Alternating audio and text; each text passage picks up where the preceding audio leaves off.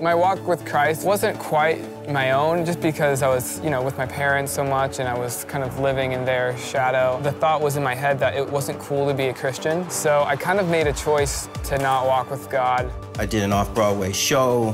I got guest spots in episodic television, and then I got a movie. Fame became an idol.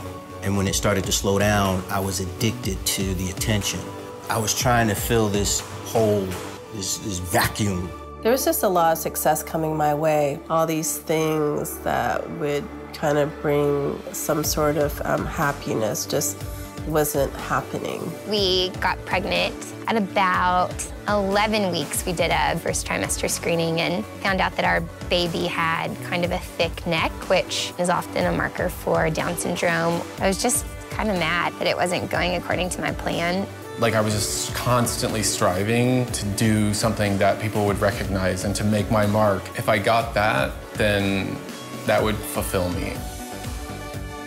What is at stake when it comes to the quest for beauty, fame, validation, and success? I see the constant frustration and anxiety that stems from unmet expectations in a culture that promises so much. We all have this deep sense of oughtness. Things ought to go this way or ought to go that way.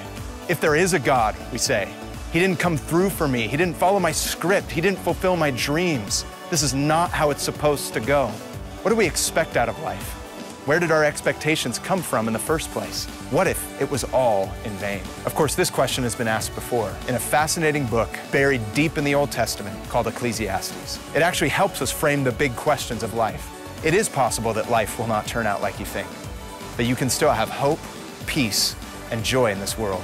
It just comes down to some big questions. Are you willing to be transformed by Jesus? Are you willing to have your script reworked?